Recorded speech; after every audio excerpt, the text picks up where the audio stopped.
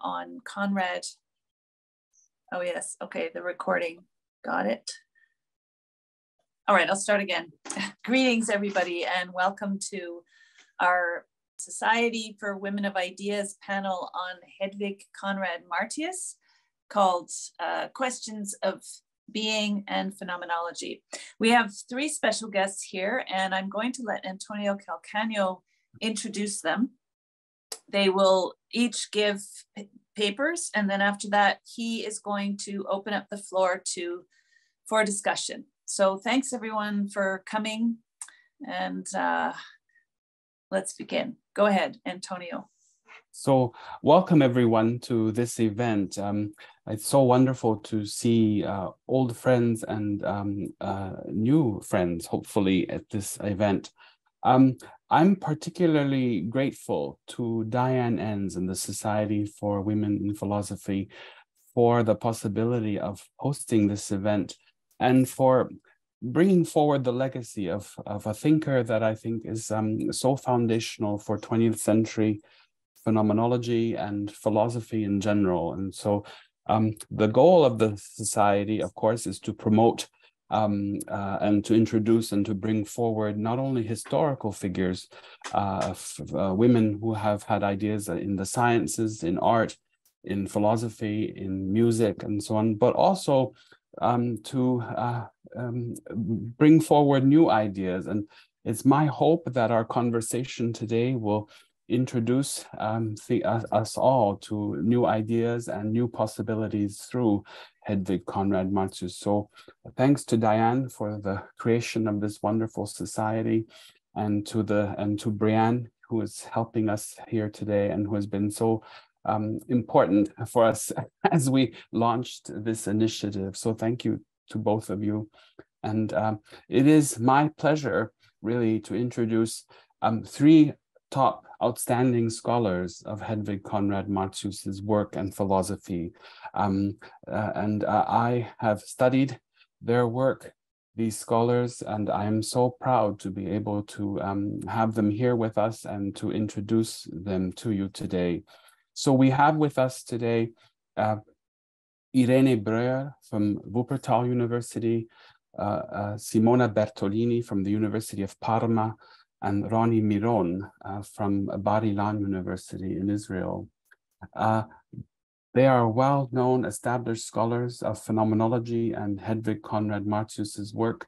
And um, what we're going to do today is each speaker will speak for about 15 to 20 minutes. And um, the idea is that each speaker presents something of an aspect or um, parts of the biography of Hedwig Conrad Martius that they find moving um, so, and um, perhaps um, uh, uh, that can um, uh, um, allow us to enter more deeply into Hedwig Conrad Martius's thought. But also at the end of the talks, uh, we will have a discussion uh, and maybe a conversation that all of us can join in order to um, synthesize, maybe metabolize the rich ideas that are brought forward by the speakers and so on.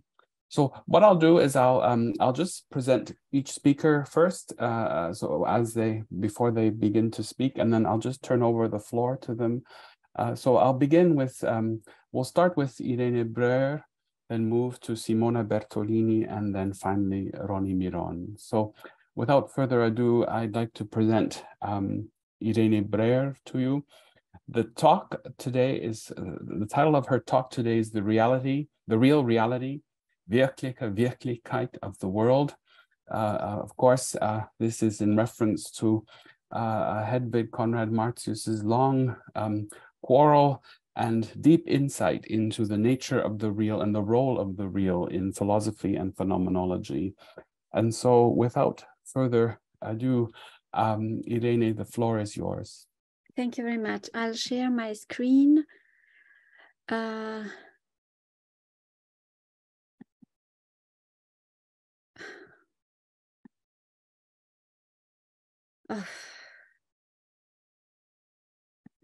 doesn't allow me.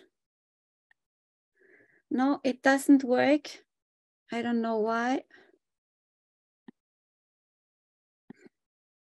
It doesn't work. I don't know what is what is here wrong, but it doesn't work. No. So Brianne, I, I sorry, maybe Brianne, yes? did you, you made her co-host, yeah, right? Yeah, she's co-host. Okay, so it should work. So it must, perhaps it's something on your end.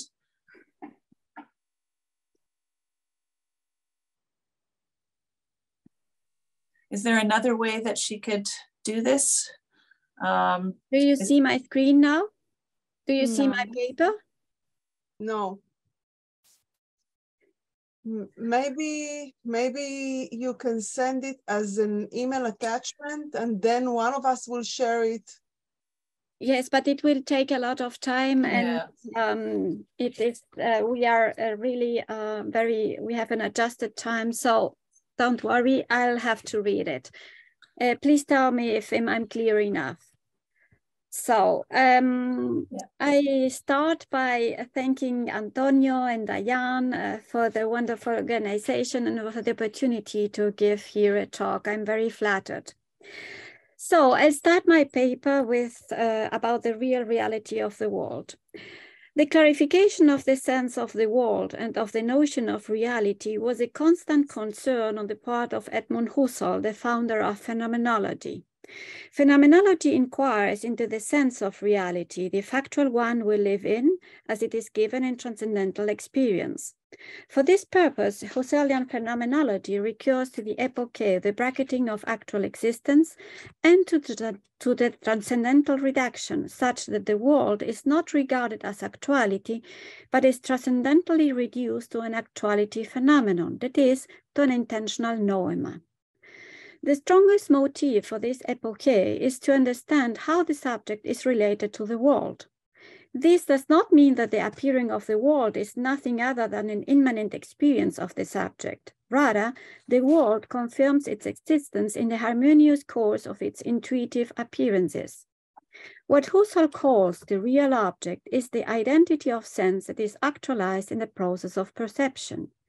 As Husserl explains, the reality of the thing, Wirklichkeit des Dinges, is that which remains identical in all appearances, that is, a moment of being, ein Seinsmoment, which must not be mistaken for the transcendent reality, that is, for the real thing in itself, das wirkliche Ding itself.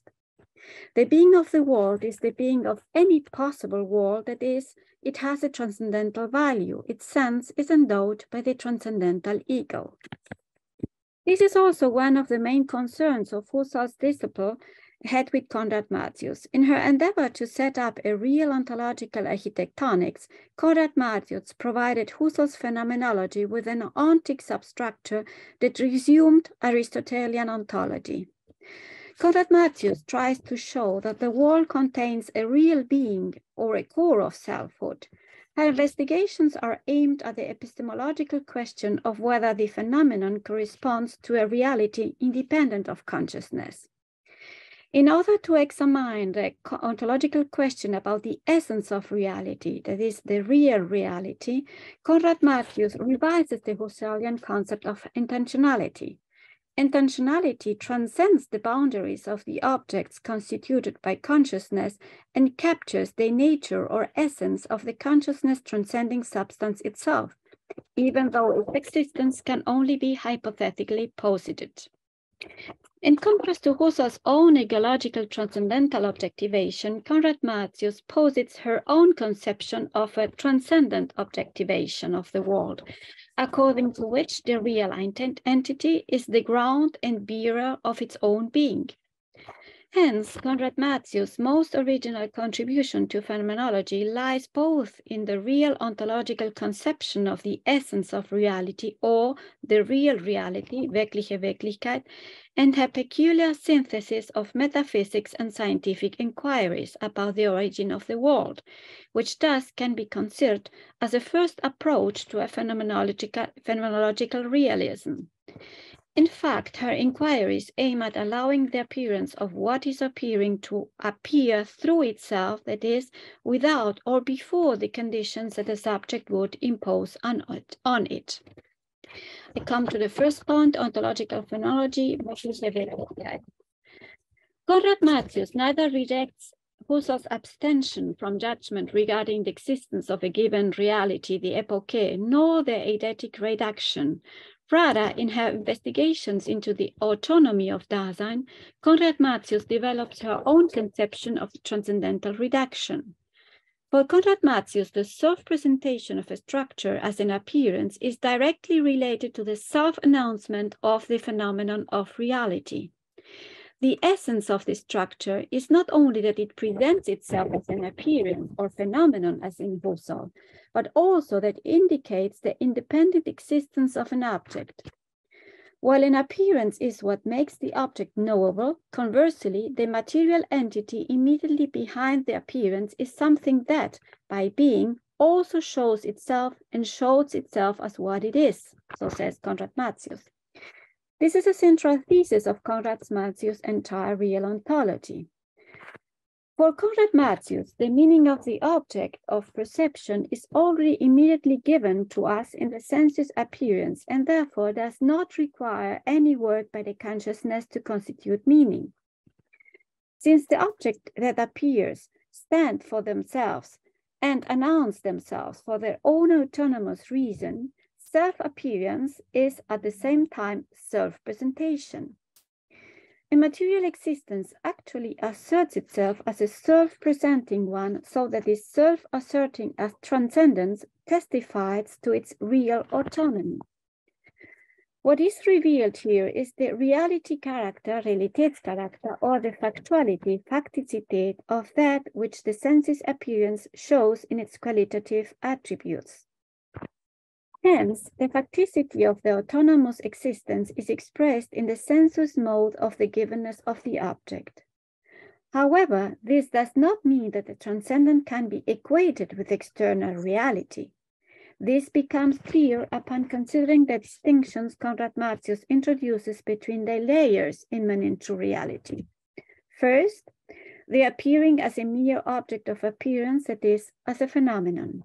Second, the real component of the appearance or that which participates in the real and has a secondary reality since it depends on the perceiving subject, that is, the reality phenomenon in its reality character. Third, the transcendent autonomous reality that is independent of consciousness.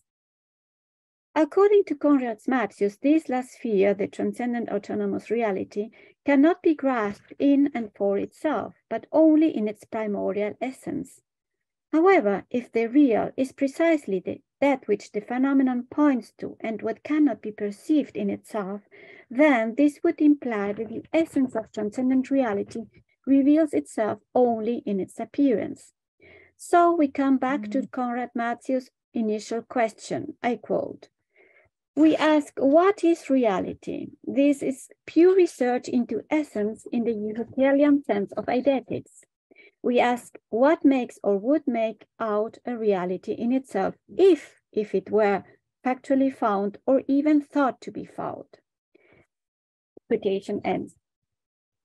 Even if the object of investigation is reality, Conrad Martius argues in agreement with Husserl that the actual existence, that is, the facticity itself or this reality, is not inferred from it. Nevertheless, Conrad Martius claims to examine the factual being of finite beings. This means that we can grasp the essence of the being without judging it on its factual being and without recourse to any constitutive achievement of consciousness which Conrad Martius explicitly rejects. Based on the insights mentioned, Conrad Martius defines ontology as an eidetic science that can never decide anything about factuality in itself. Hence, the epistemological question remains open. Pure ontology cannot determine to what extent the empirical world as a whole and in its particular hic et nunc really is what it appears to be, as what it appears, Das ist, das wirklich ist, was sie zu sein scheint, als was sie erscheint. End quote. It is left to metaphysics as a factual and not eidetic science to pursue this question. So metaphysics is not concerned with the phenomenon of real being, but with its factuality, that is, with the metaphysical primal questions. Quote, that something is, that it is what it is, that it exists as it is. End of quote. But this question exceeds the realm of rational knowledge and thus also that of phenomenological eidetics. Therefore, in order to address the question about essence of the real being as such, in particular of nature, ontology must inquire not only into reality as a noematic component, but also in the consciousness transcendent reality of the noematic moment of reality. This last sphere is the real reality, wirkliche Wirklichkeit, which does not belong to the intentional noema, but to the consciousness independent factual standing on itself of the world and its existence, a realm that Conrad Martius claims Husserl has disregarded. However, in my view, this criticism does not do justice to Husserl's phenomenology. While it is true that phenomenology does not deal with realities, but with ideal possibilities obtained through eidetic variation, already in the years one of 1913, um, factual reality is incorporated into the area of investigation of regional material ontologies, which grasp the concrete essence, essence of material actual beings. It is important to remark that for Husserl, nothing of reality as such was lost with the transcendental reduction, it is rather ascribed to the lived experience, Erlebnis, as something which is actually included in its essence.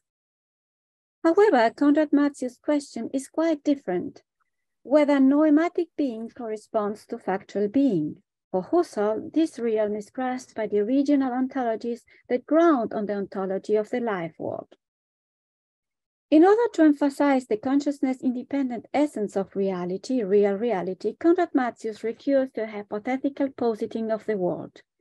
In this real ontological attitude, the world is assumed to be factually real, regardless of whether it factually exists or not.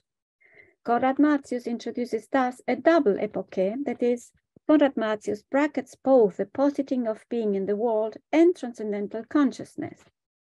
This attitude signifies a step outside consciousness towards an ontic self-rooting of the world in a superphysical and subphysical sphere of potentiality, a realm opened up by the new physics. Thus, Conrad Martius con contrasts uh, Husserl's metaphysical, egological, or metaphysical transcendental objectivation with her own transcendent objectivation of the world.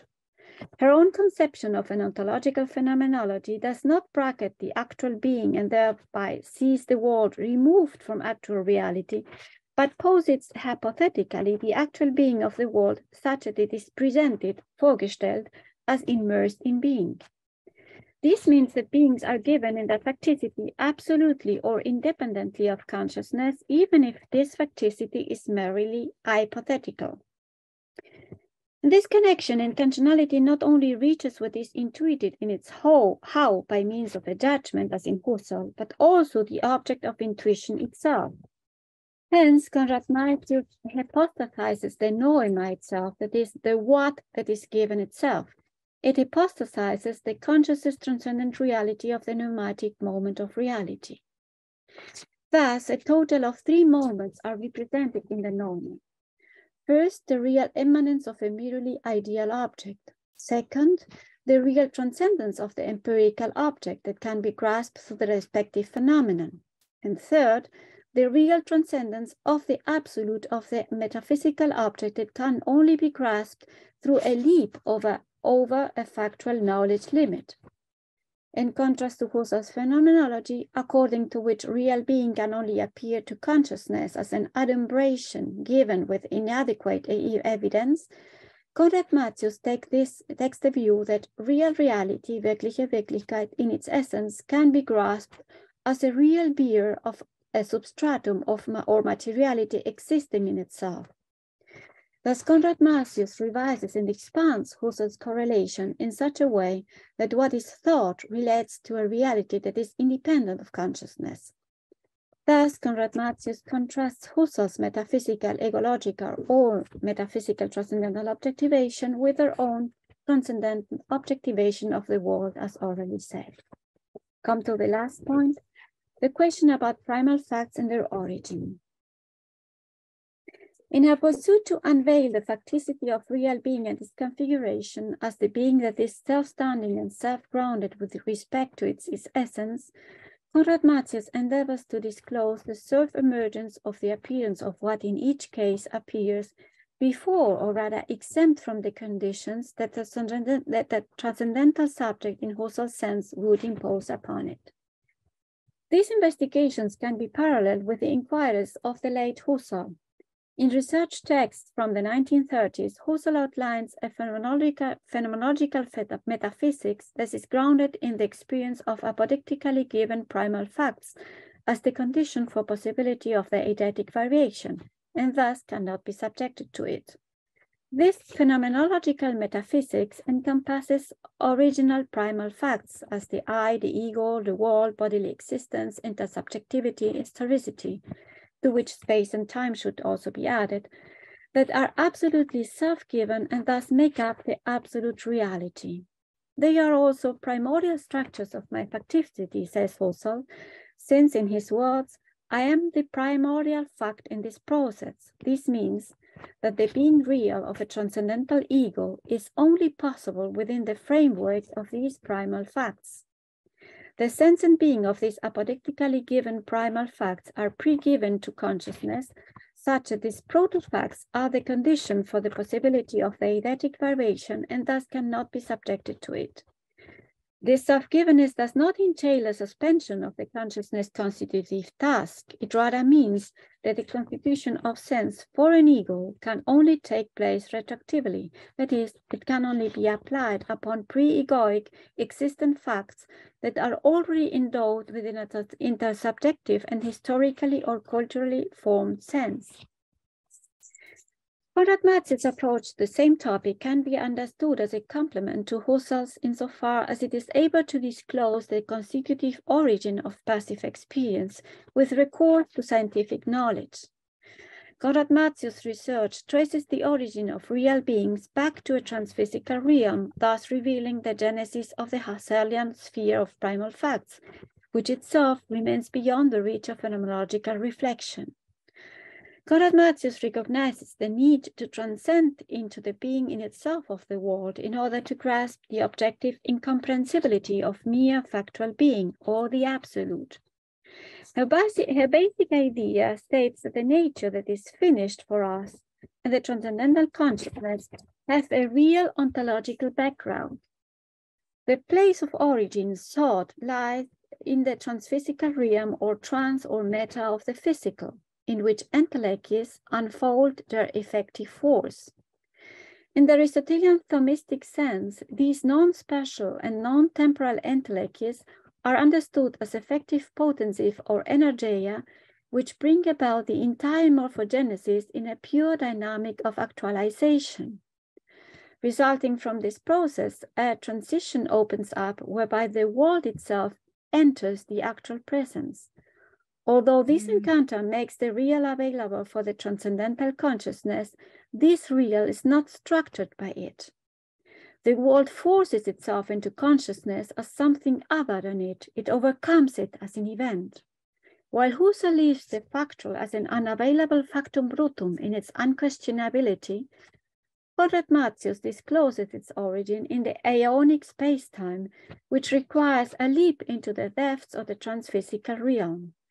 At this ecstasy, the point at which the real enters the transcendental, phenomenology and real ontology meet and complement one another. Hence, Conrad Martius' real ontological approach is also able to reveal both the process of emergence of the real and the essence of reality or the real reality, issues that were later on taken up by phenomenological realism.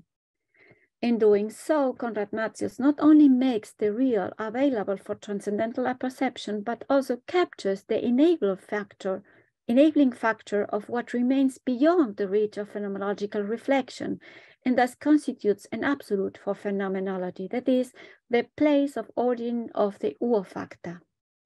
This is, in my view, one of the main accomplishments of her original contribution to phenomenology. Thank you for your attention.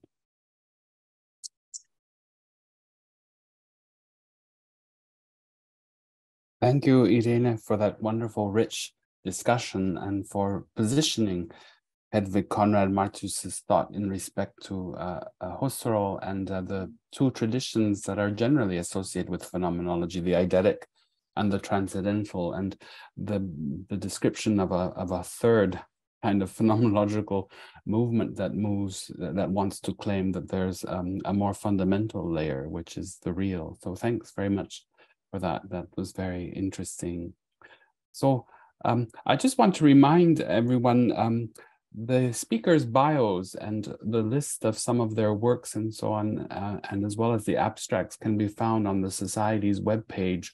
So I invite you to take a look so that you can um, familiarize yourself with our speakers and so on um, uh, as they present their materials and so on. So I'd like to move to our second speaker, Simona Bertolini from the University of Parma. Simona's talk today is called A Metaphysical Dialogue Within the Development of Conrad Martius's Philosophy. And uh, here uh, we're going to look at um, the famous dialogue on the soul, which is a fascinating text. So Simona, the floor is yours. And again, thanks for being with us. Yeah. So um, uh, good afternoon. I can say that to everyone. I don't know. It depends on the on the country where you live. So good afternoon. Here it's afternoon. Thank you very much for the invitation and for being here. Well, first of all, let me explain more precisely the meaning of the title I chose. As Antonio said, uh, metaphysical dialogue within the development of Conrad Martius philosophy. Well, with this title, uh, I mean a dialogue Conrad Martius conducted with herself, in my opinion, during the development of her metaphysical position. That is a change in this position and the overcoming of her initial metaphysical conception. Uh, in speaking of metaphysics, I refer to the meaning of the word that Conrad Martius suggests in, in her writing at the beginning of the 30s, Bemerkungen über Metaphysik und ihre methodische Stelle, where she states that whereas ontology considers the being of the world without dealing with the foundations of its facticity and actual existence, metaphysics, on the contrary, has to do with facticity and with, and with its absolute foundations. Thus, the fact that something is, and not only what it is, is the starting phenomenon of metaphysics, which for this reason is defined as a science of facticity, eine Faktizitätswissenschaft. So um, assuming this definition, what I would like to do in these 20 minutes, more or less, is to show that Conrad Martius, while elaborating her uh, ontology and philosophy of nature over the years, described two different origins of, of natural existence in the context of a theoretical development in which the philosopher radically recanted her early metaphysical thesis in order to show this, so in order to show different stages in Conrad Martius metaphysics, I'm going to start from the second stage and then backwards to compare it to the previous one. To be more precise, I'm going to refer to some claims in the work Bios und Psyche, published in 1949, and in particular to the first part called The Creative Development of the Living. Here, as the title suggests, Conrad Martius wonders about the development development of the individual living being, she assumes that a mechanistic, a mechanistic explanation is not enough. And while discussing with several biologists over time, she traces this development back to transphysical factors, that is, to elements which are neither physical, nor psychic, nor metaphysical in the literal sense of the word, but are ontologically present within the physical world without coinciding with it. In this regard, as is well known, the concept of essential entelechy or essence entelechy versus entelechy is crucial, a concept which reinterprets the notion of entelechy elaborated by Hans Driesch. Conrad Martius presents her notion of entelechy as an original or archetypal phenomenon, an phénomène, she says, which essentially belongs to the organic matter and leads its development through the different phases of the organism's life. Such phases, she explains, evolve due to the gradual and active actualization of potencies, which are awakened, so to say, by actualizing powers, the Mächtigkeiten, which gradually realize the specific essence and the specific logos coinciding with the essence and telechin of, of an organism, of a single organism. Thus conceived, this permanent process, this permanent actualization of new potencies is defined as a creative one in the sense that it's not simply the unfolding of potencies which are already virtually present in the physical dimension, but it implies the manifestation, the creation indeed, of transphysical potencies, that is the constant transition from the transphysical to the physical sphere. As Conrad Martius affirms, physical epigenesis is possible thanks to, the, to a transphysical evolutionism. Well, in this context, so while describing her concept of organism, the philosopher mentions Henri Bergson and his interpretation of life and evolution in the work Creative Evolution, so l'Evolution Créatrice, published in 1907. Well, it's in relation to Bergson that we find some sentences, some strong sentences, I would say, which allow us to reflect on the development of Conrad Martius metaphysics over the years.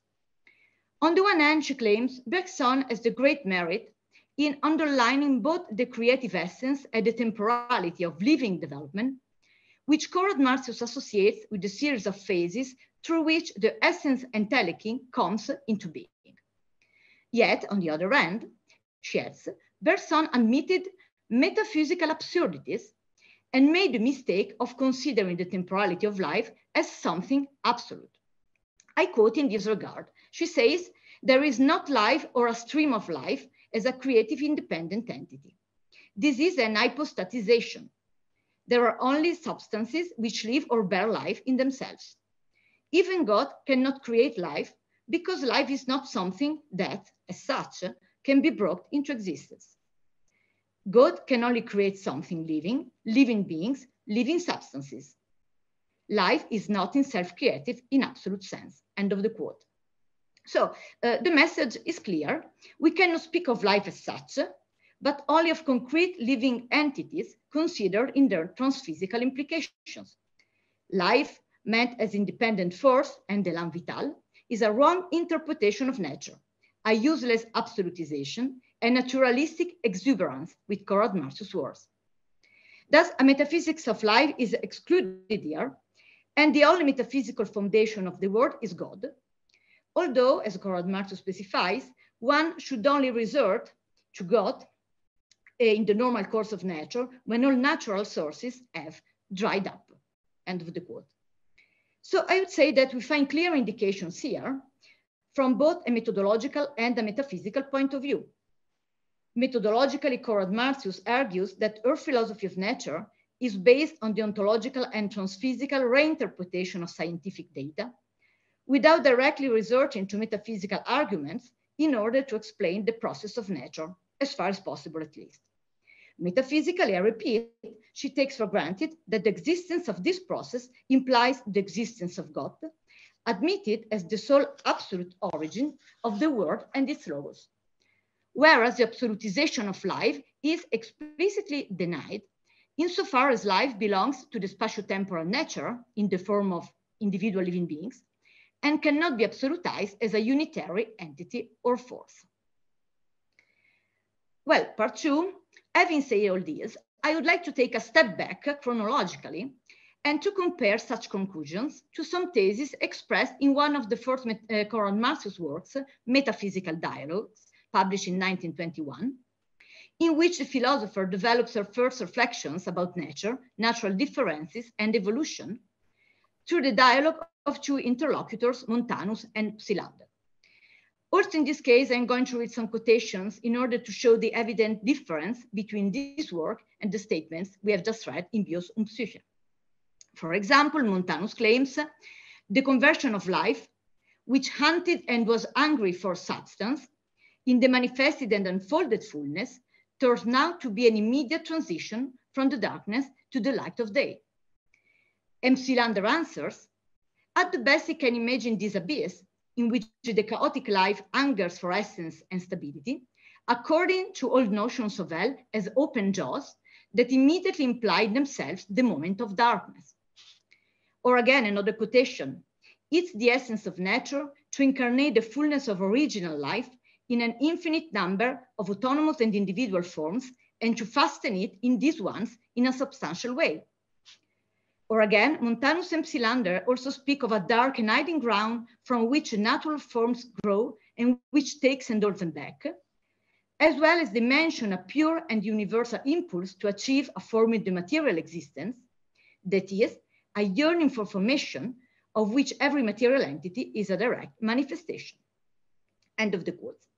So these are just few examples among others taken from the metaphysical dialogues in which we can clearly see that Conrad Martius, at the beginning of her philosophical reflection, made exactly the same mistake, so to say, that she would define as a metaphysical absurdity some years later. In fact, as we have seen, she speaks of life as stream of life and a unitary force, in particular as a chaotic force which pushes and presses towards individual forms of reality, thus getting away from the shapeless and powerless indetermination of darkness.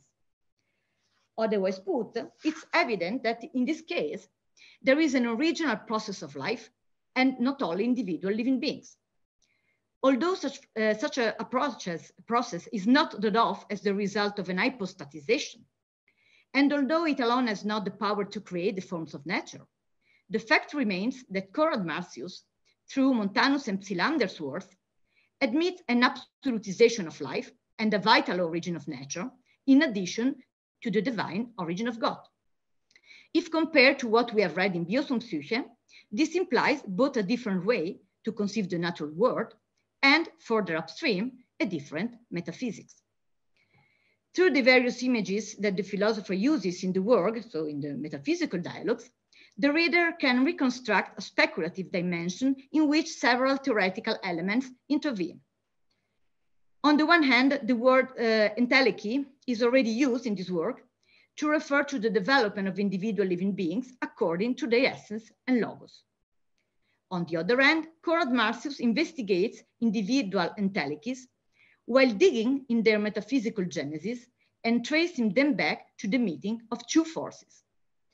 The first force is the above mentioned abyssal force, which yearns for formation even without potencies within itself, as a sort of pure vital energy which looks for realization without uh, having the conditions of possibility for it. In this abyss, which is simply nostalgia and living nothingness, nothing is and nothing can originate spontaneously, though all can become from it, as Conrad Martius specifies. The second force, instead, is the creative force of God and light, that is, the force of the divine logos and divine ideas that provides guidance to original life and allows it, allows it to reach material self-determination. Such ideas represent traces which raise the pure nostalgia of the first force towards specific potencies and entelechies, and towards concrete actual forms that originate when these essential conditions meet the right environmental conditions.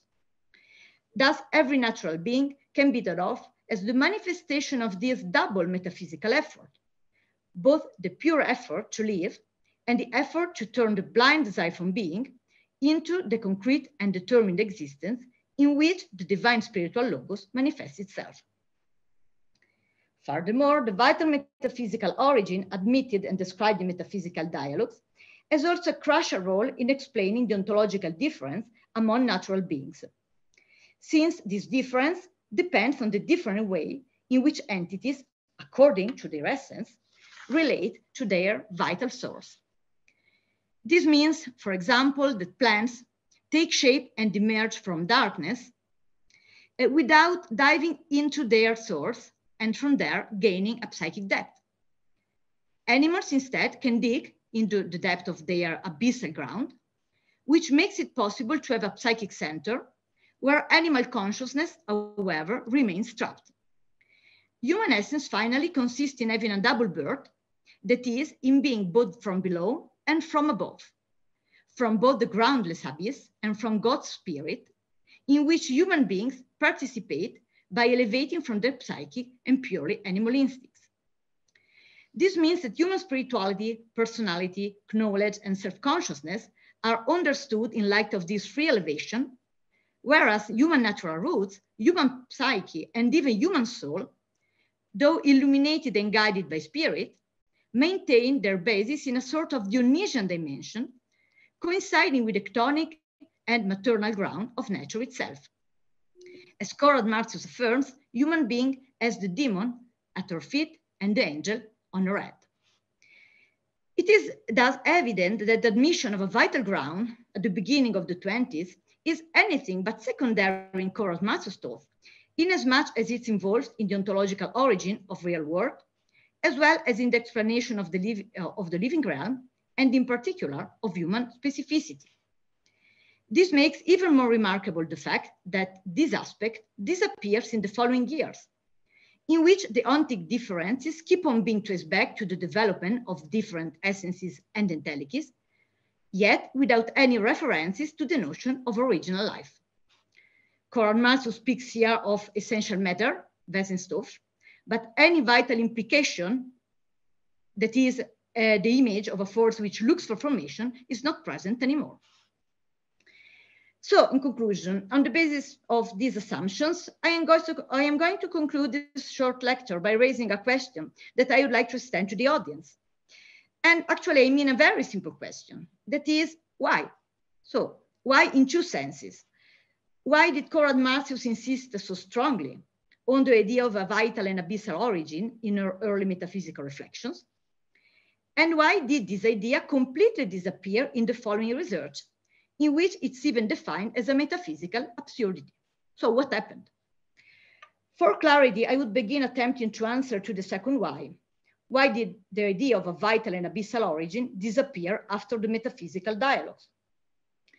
Well, I suppose it's just an hypothesis, I suppose that the legacy of philosophy of life proved to be both incompatible with an authentic Christian metaphysics and unnecessary in order to develop an ontology based on the rigorous dialogues between scientific data and phenomenological approach, which was Conrad Martius' main goal, as we know. Though the process of life, considered as such, lends itself to ground the phenomenon of life and the evolution of nature in their general dynamism, it probably turned out to be too ambiguous and dogmatic in the context of a phenomenological observation of natural structures and phenomena. In other words, we can assume that theorizing a pure Dionysian activity boiling, so to say, under the natural forms and in human interiority, soon reveal itself as useless to phenomenological analysis, and maybe even a possible symptom of a not rigorous approach. In this regard, we can remember the vehement reaction to the metaphysical dialogues as expressed, for example, by Roman Ingarden, the phenomenologist, who spoke of poetic fabrication after reading the book, as Edith Stein reminds in a letter to Ingarden written in 1921. In the same letter, Stein even claims that the book of Conrad Martius was disturbing for Ingarden. And I suppose that this reaction was also due to notions such as chaos, abyss, and demonic entities, notions which were very far from the language of traditional phenomenology, both realistic and transcendental. Well, the same notions which will disappear, not by chance, I guess, from the following philosophy of Conrad Martius. So this is a possible answer related to the second why. To conclude, we now come to the first why.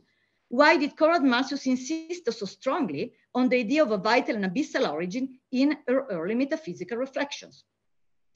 Why did she admit the idea of an elan vital, uh, of a universal life? Also in this case, I don't have a precise answer, but I have an hypothesis according to which Conrad Martius does a sort of experiment, a metaphysical experiment at the beginning of the 20s, in which she tries to keep together several traditions. So phenomenology, of course, Christian metaphysics, of course, and philosophy of life, or more in general, more in general, a certain vital atmosphere, a new romantic atmosphere maybe, which was widespread in Germany at the beginning of the 20th century. So I suppose that when Conrad Martius tries to develop a metaphysics starting from the natural evolution and living phenomena, the description of which was not widespread in the phenomenological tradition yet, well, I suppose that it was almost taken for granted to consider philosophy of life or vitalism as points of reference, also considering the great influence of Bergson in those years, and also considering that one of the goals of vitalism was the attempt to defend the specificity of life without reducing it to physical or chemical phenomena. So it's a phenomenological need, all in all. Thus, authors such as Driesch and Bergson, first of all, are evidently polar star, stars in this phase. But I also suspect that this interpretation is not enough yet, because it is true that we find a sort of élan vital in the metaphysical dialogues. Well, but I would say that it's a particular strange élan vital, almost a vampiric élan vital. And as far as I know, the reference in this case cannot be Bergson. Rather, I suppose that the reference here is not a single philosopher or a single philosophical position, and perhaps not even the philosophical field considered in a strict sense, but a certain wider cultural atmosphere that Conrad Martius had breathed in Germany since she was a young scholar, not only in Göttingen, but also, and first of all maybe, in Munich. Munich, which was not only the city of the phenomenological Munich Circle, but also the city of the Stefan George Circle, the city in which Ludwig Klages lived in the first 15 years of the century, and the city in which the Bachofen Renaissance began. So I have the impression that this atmosphere that Conrad Martius surely knew influenced her metaphysics in 1921.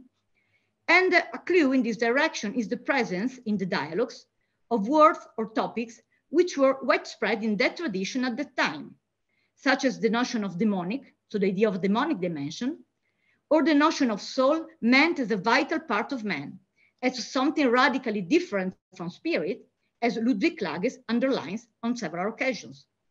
Thus, I have the impression that there is another cultural tradition, a Nietzschean tradition, between the lines of the dialogues, a tradition which will be excluded after a few years. Well, but to say this is just an hypothesis of mine, which would need additional research to be confirmed. And if possible, I would like to have your opinion during, during the discussion. So thank you very much for now.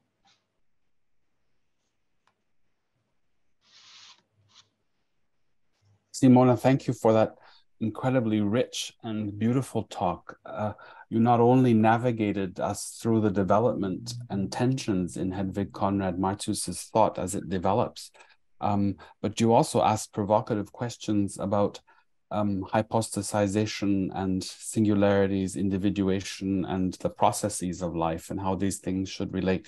And then your last thesis about the influence of this Munich kind of Renaissance um, period of fluorescence.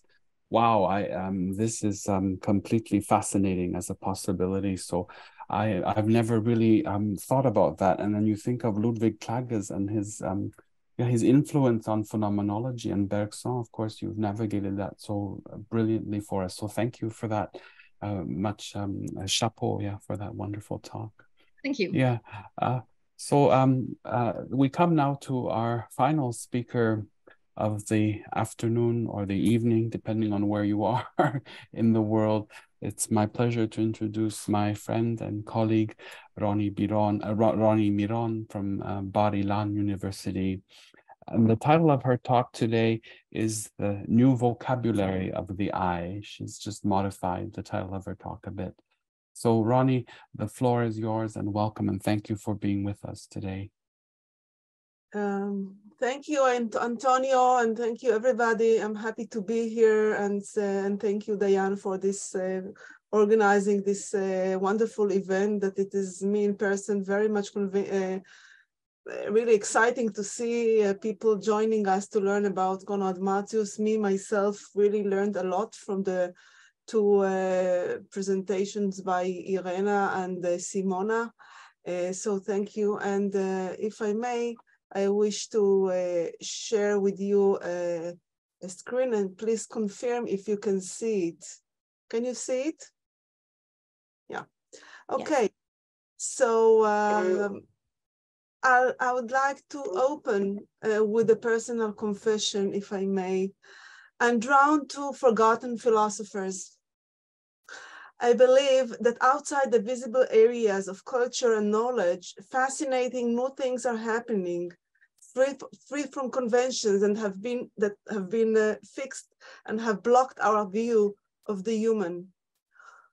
Also, philosophers sh should teach us how to live a life that is worth living, a life that elevates what is lost and passes in our existence, a life that has contact with what cannot be fully characterized, something that as it slips away is real and can be experienced.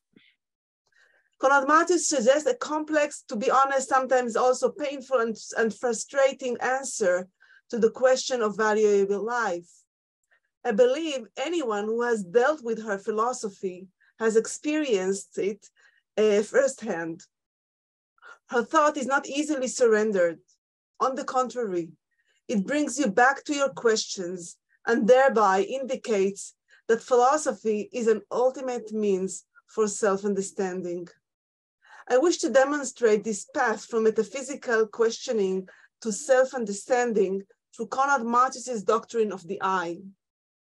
The value of this section of her philosophy concerns not only the insight explored in it for humans, but also its establishment of the part of us that can never be understood.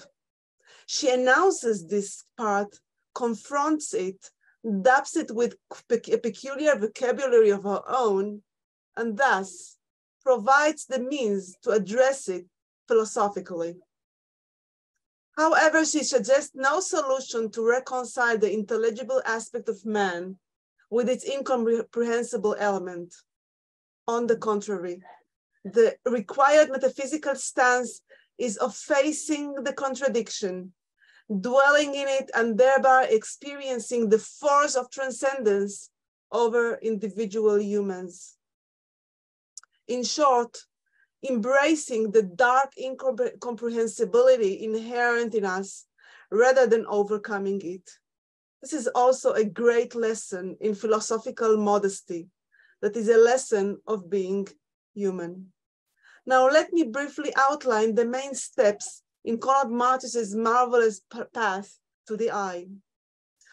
So I'll start with the point of departure that reads as follows. Let's see, just a second.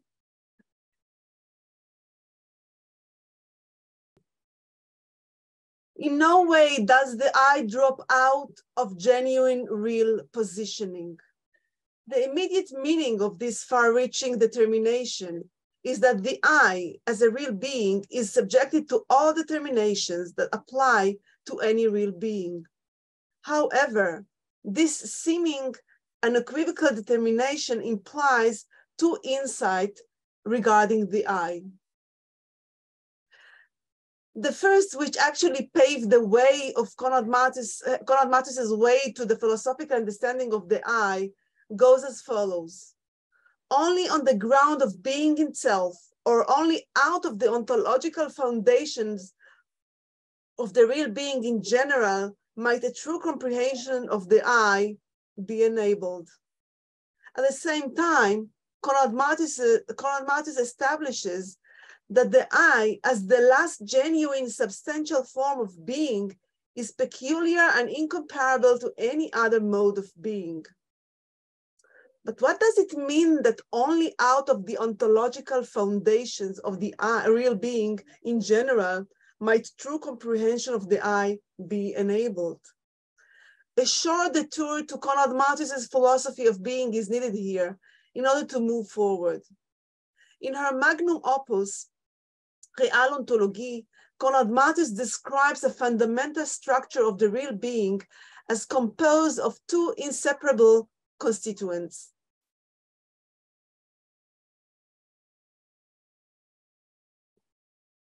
This is, yeah, just a second the essence, the Washeit or the whatness of the thing, and the bearer, upon which the essence is loaded. Let us take a look on each of these elements. This is the our magnum opus. It's appeared in the in the Husserl's Jahrbuch, uh, and it should be said that we have just we have just now 100 years after uh, its publication, but it should be noted that the, what was has been published in the Jahrbuch is only two of five sections of this book. that are still waiting for publication. Now, even nowadays, 100 years after uh, its first appearing. And you can see here it's written uh, uh, first book. Well, the preceding ones never came out. However, let us go to in detail, a bit more detail with uh, the first element of the essence. Conrad Martius explains that the essence is foundational to the intelligibility of any real thing. Thus, the existence of essences implies the possibility of achieving an objective knowledge of, the, of real beings and of reality. Also, Conrad Martius establishes that the objective intelligible logos is a primordial idea, namely a universal form according to which our world, world was constituted. Nevertheless, regardless of its accessibility to our consciousness, this idea does not express the involvement of the human subject. In addressing, in addressing essences, phenomenologists unveil the universal forms of real being and thereby general aspects in reality. And finally, to the aspects of generality and universality inherent in them, real beings can never be exhausted in their empirical mode. The bearer, the second element. Conrad Martius described the described the carrying of essence within the real being as pure elevation of being from nothingness. This elevation from, not, from nothingness testified to an internal depth within reality. Also, this carrying of essence is a precondition of any real realization in the world, which Conrad Martius typifies as capability, können, to use a word. Whatever is, whatever by itself cannot is incapable of anything else, as opposed to the real, which is the only thing that essentially can. And finally, the element of the bearer marks the non-Platonism of Conrad Martius's idea of reality. The loading of essence on the, of, on the bearer was visualized by Conrad Martius as like Atlas vis-a-vis Earth, eh, eh, eh, as like Atlas vis-a-vis Earth, so the real being carries upon its back its real essence. We have seen then that the real is composed of two layers, essence and bearer. While the essence operates inwards, the bearer brings about a manifestation of the constituting essence outwards. The mark of this inward outward uh, directedness is apparent also in Conrad Martius's idea of the I, specifically within her idea of the spiritual I. In this regard, Conrad Martius identifies two elements to what she calls the an ancient movement of the I that elevates itself from itself towards itself outwardly and into itself inwardly. This is again the ancient movement okay? And the two uh, element that comprising this element is first is the, excuse me, the origin adhering and the spirit adhering. So now please let me take, a, a, a, put more details on each of these two aspects, okay? The origin adhering. The aspect of origin adhering characterizes the I as a self that cannot get out of its own origin, but, but must remain within its origin. Therefore, as one digs further into this element, there will always be something deeper. Also, an origin adhering, as origin adhering, the I cannot have any outside itself, but is incessantly inside itself and by itself. To this extent, the aspect of origin adhering marks the depth of, and, and the fullness of the I. This element responds to the characterization of spirit as static or spiritual material and as receiving spirit upon which appear concept, words, and phenomena. However, Conrad Martius argues that these spiritual achievements are shaped by, by the objective logos of the real world. She explains that despite being static, resting in itself and directed towards itself, the receiving spirit is always shaped anew by the intelligible reality and becomes this reality itself. This could not have happened if the spiritual material did not have inherent in itself a radical capability for becoming manifested by the light of spirit. In any event, Conrad Martius considered the receiving spirit as a tabula rasa because it is capable of being filled by the eternal ideas of reality or being an appropriate observer of pure essences. So this is again the origin, uh, the, the, the element of origin adhering. And as we can see, she there are some distinct um, characterization by, given by Conrad Martius scattered in her, all her writings regarding this element. How about the second element, which is spirit adhering or uh, geistlichhafte Selberkeits? This element of spirit is described again as a power of being. By its being power, being by its being's power, spirit, spirit appears as totally empty of itself, down to, down to its most internal ground. Thus, it indicates an abyss inside the being of the I. Conrad Martius terms this element with the unique idiom, idiom infrastase, which indicates the capability of the spiritual I to elevate itself and be directed to something that is not itself. Thus, infrastase of the is the dynamic element of the spiritual being and a pure, genuine, selfless power of the I. As spirit adhering, the I operates as influencing spirit without having inside itself something to be posited against what it receives. Thus, as an influencing spirit, the I is described as floating or pending with logos. This infrastatic character that provides the I, so to speak, a window outside itself, yes, enables it to encounter the world and cognize it, and thereby the scope of the I is widened.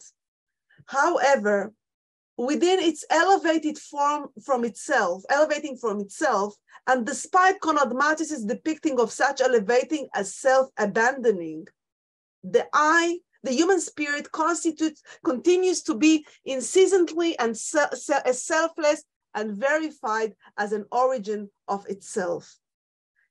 In her words, the I elevate itself from itself towards itself outwardly and into itself inwardly. Against this background of the infrastatic character of spirit, one can come to terms with Conrad Martius' typifying of the I being as dwelling in transcendence. Conrad Martius concludes then that the spiritual I does not live only by itself, but also in a strange world. However, even as spirit rests in itself, it is already transcending its own being. The question that we can raise at this point is how do these two rather different and even polarized elements relate to each other? In my view, the logic behind uh, this duality is the following. The self-compression that occurs in the I as a receiving spirit builds the substantial core that serves as a safe ground. This in turn enable the self to void itself and attain freedom and mobility towards the world. In short, only an owner, only owner of something can release themselves from their property. This insight that might be derived from this logic can be specified as follows. The two elements of the spiritual I operate simultaneously. Thus, the I adheres to its, to, to its dark origin and can free itself by an elevating act operated by infrastatic self, selfness.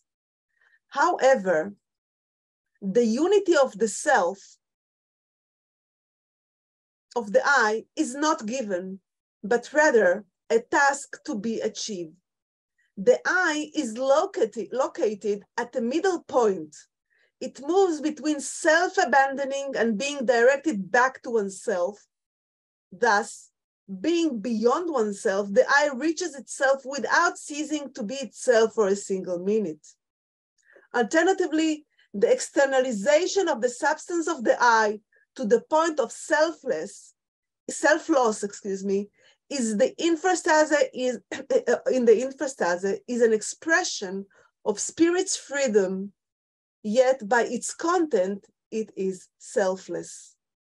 This understanding of the I is moving within the realm of free spirit, forces the vacillating that is essential to human existence. Namely, we are doomed to move between ownership and freedom from it, between self-fullness and positive self-voice, void, between being a receiving spirit and influencing spirit. Spirit will never be located in either side, but vacillates between the two. In short, the dual structure of the I as spiritual being indicates the fate of human existence as vacillating between freedom and selflessness. Now, precisely as the duality of the real being composed of essence and bearer is regarded as a base on formal relation that cannot be destroyed, also the duality of the I cannot be overcome. In Conrad view, this duality is ultimately founded in the entire ontic situation of finite being as such, possessing two oppo opposing extremes, an autonomic and causa sui on the one hand, and the scrapitude of being surrounded with threatening of nothingness on the other hand. In her view, in her view, it is odd to wish a position, uh, imposition of a unification of the two in one and the same existent. She puts it as follows. The state of affairs includes within itself the two. The two together first determine the concrete ontic unity that depicts the finite existence. We are not dealing here with a contradiction that can be roughly dialectically unified. No, every autonomic being have their own thing stance on totally, totally different points or totally different planes of the totality of existence. I'm coming to conclusion to the conclusion.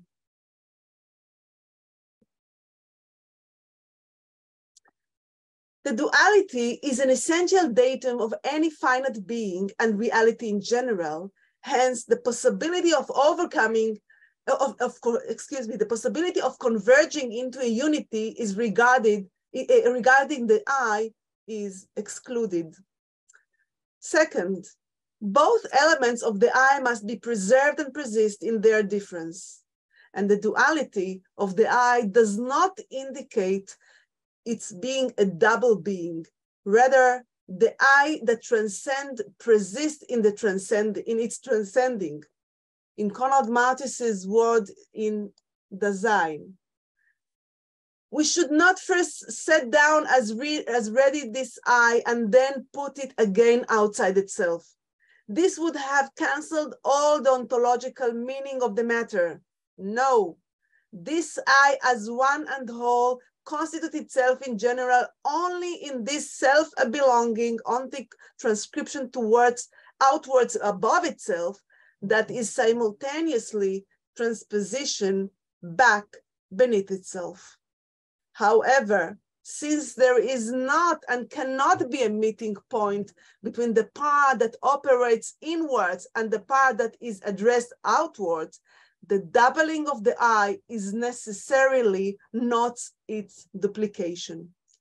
In my opinion, Conrad is insistent upon preserving the dual structure of the real being and, uh, and the I as well, uh, as well expressed her way of standing before the two paths of escape from the question of reality typical of modern philosophy.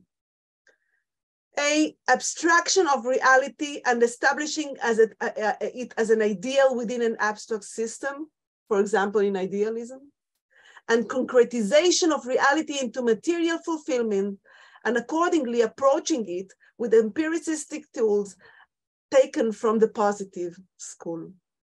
As opposed to this, the dual structure keeps its grip, grip in, on both the raw material aspects of the real being, the bearer, and the original aspect of the I, and the open horizon that is at the same time the intelligible dimension of reality. Each of the two provoke, provokes the need of the other, yet in no way, way they can merge into each other.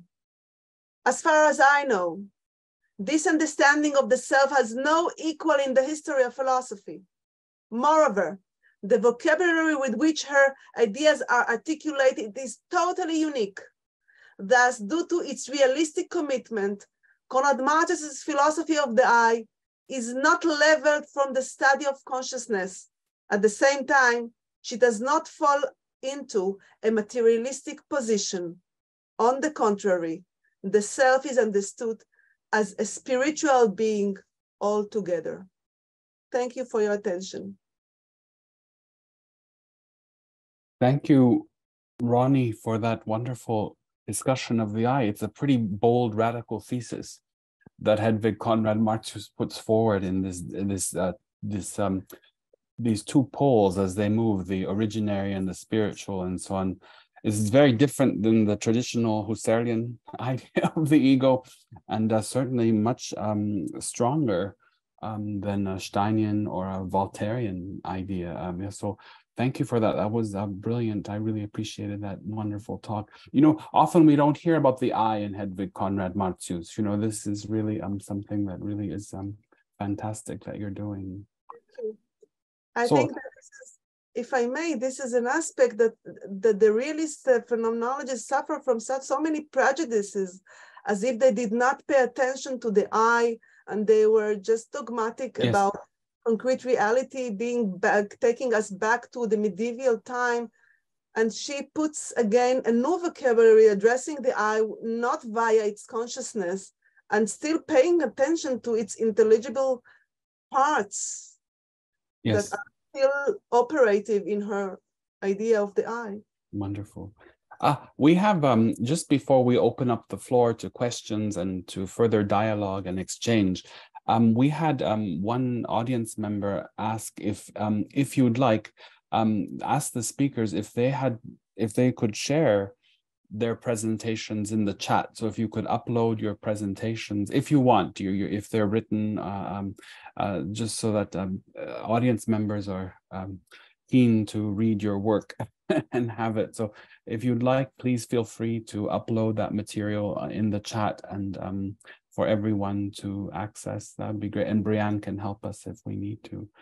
So we come to the the best part of the, um, in addition to these wonderful presentations, Hannah Arendt always said, you know, that this kind of um, what lies between us in in speech, uh, this is uh, what is um, fruitful and meaningful and so on. And so um, I'd like to um, uh, invite members of the audience first to share any ideas or reflections or questions so that we can help build that in between that inter esse that Hannah Arendt speaks about and which uh, in many ways um, inspires us here in the society to create these kind of spaces of dialogue and so on. So I open the floor. If you can just uh, raise your hand um, uh, and uh, go ahead or um, so we'll give people a minute just to reflect. Uh, Diane, please, yeah. Antonio, I just wanted to mention that the people who asked you for their talks may not be aware that we are recording it. So that's also, um, we Oh, will sure. post it on, we will post it on our website, the three talks. Oh, great. Thanks for that, Diane. I appreciate that. Forgot about that. Uh, so the floor is open if anyone would like to share uh, comments or questions for our speakers. Joyce, please. Yeah, welcome, Joyce. Thank you. Thank, and I want to thank three speakers. I'm not a philosopher by profession. I do philosophy as part of being a historian and being a Steinian scholar. And so there were aspects of your presentations which I could not adequately follow, and other parts I very much could. But I do have um, a related, well, it's a two part question. I'm very aware of the huge impact of Hedwig Conrad Martius on Stein's thinking uh, throughout the 1920s and into well into the 1930s. They had a very close friendship, intimate friendship. And um, I'm very aware of that. And I wonder about the impact of Stein on Hedwig Con- Conrad Martius, since I only know it the other way around the impact of Martius on Stein. So I would I'm curious about that. And it relates to the fact that in establishing reality and establishing the I, for Stein, intersubjective relationships are central. That is the fact that empathy, initially, in fact, it was foundational to her view of the reality of the existence of the self. And um, I'm curious how you would apply concepts of intersubjectivity to your discussion of Hedwig Conrad Martius's conception of the real and of the I. Um, and so I guess that's my, my fundamental question. Thank you, Joyce. I invite the speakers to perhaps if they to please feel free to respond. Well, if I may, can you hear me? Yes well, about the relation between Stein and Conrad Martius, uh,